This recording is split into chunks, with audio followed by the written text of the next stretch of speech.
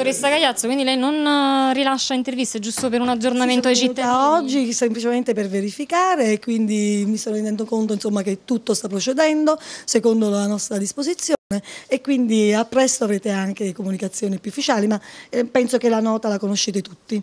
Quindi che cosa, eh, cioè praticamente che cosa abbiamo oggi a quest'ora? Oggi avete un pronto soccorso con delle aree omogenee di riferimento che sono quelle previste e sono un'area utica e rianimazione e quindi poi abbiamo anche un'area di medicina d'urgenza, chirurgia d'urgenza, ortopedia, abbiamo dei posti letto, quindi è l'area dei servizi. Avremo anche a breve dei coordinatori, quindi diciamo dei direttori responsabili, ciascuno per ogni area perché il tutto proceda bene. Quindi le ambulanze non verranno più dirottate a Vallo, ma bensì ritorneranno al pronto soccorso di Agropoli?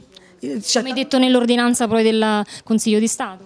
Il 118 chiaramente la centrale operativa che a secondo appunto dei tempi di percorrenza e anche delle patologie quindi deciderà eh, autonomamente come già decide la centrale operativa chiaramente è il posto più vicino.